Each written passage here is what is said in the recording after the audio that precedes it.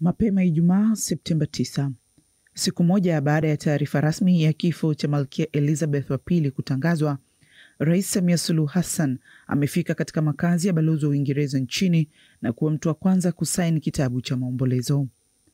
Mara baada ya kusaini kitabu hicho, Rais Samia alizungumza kidogo na mwenyeji wake Balozi David Conker na kisha kuendelea na majukumu mengine.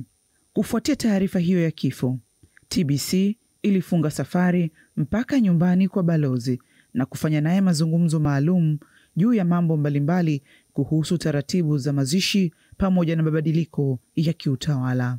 Uh, we are of course mourning the loss of the Queen and that is first and foremost. Kwa sasa tunaomboleza kumpoteza malkia. Kipaumbele chetu ni kuenzi maisha yake kupitia maombolezo. Uingereza na nchi zilizo chini ya utawala wake, tutakuwa katika kipindi cha mpito katika utawala mpya. Beyond that, uh, the UK Kuhusu tarehe rasmi ya maziko bado haijawekwa wazi, lakini zimetangazwa siku kumi za maombolezo kumwenzi mtawala huyo wa Uingereza aliyekaa kwenye kiti cha umalkia kwa miaka sabini.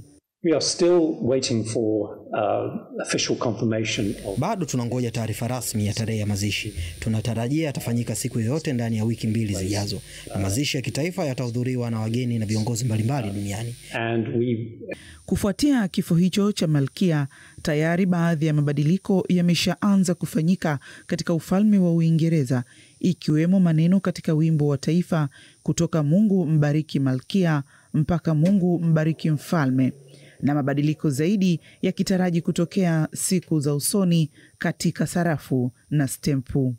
was previously known as Her Majesty's government. Now it is Hapo awali iliitwa serikali ya malkia na sasa ni ya mfalme. Nilikuwa mwakilishi wa malkia, sasa anamwakilisha mfalme. Kesho kutakuwa na baraza maalum litakalomuweka rasmi mfalme Charles kuwa mfalme, na baraza hilo litahusisha wawakilishi pia kutoka nchi kumi na nne ambazo malkia alikuwa mkuu wa nchi. Place King Charles Mwaka 1979 Malkia Elizabeth alikuja nchini Tanzania na kufanya mazungumzo na hayati baba wa taifa Mwalimu Julius Nyerere pamoja na kutembelea baadhi ya maeneo nchini Tanzania. Uh, not just from Dar es Salaam but Arusha. Alipokuja alitembelea sio Dar es Salaam tu, lakini pia Arusha, Kilimanjaro na Zanzibar. Ukaribu wake na nchi za Jumuiya ya Madola na nchi kama Tanzania ulikuwa wa kutoka moyoni. Haikuwa sehemu ya majukumu, lakini upendo kutoka ndani. Viongozi mbalimbali duniani wanaendelea kutoa salamu za rambirambi.